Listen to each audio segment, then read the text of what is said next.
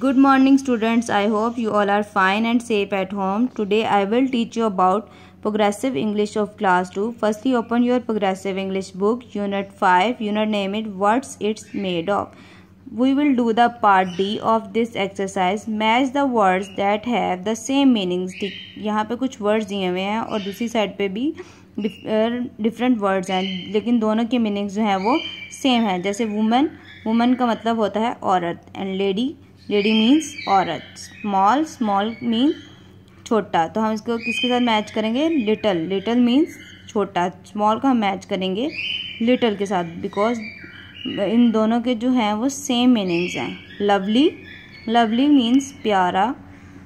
Beautiful beautiful का meaning भी होता है प्यारा। तो हम लवली को मैच करेंगे लास्ट पे ब्यूटीफुल के साथ। Next story story and tale story को हम मैच करेंगे टेल के साथ बिकॉज़ स्टोरी का मतलब भी कहानी होता है और टेल का मतलब भी कहानी होता है।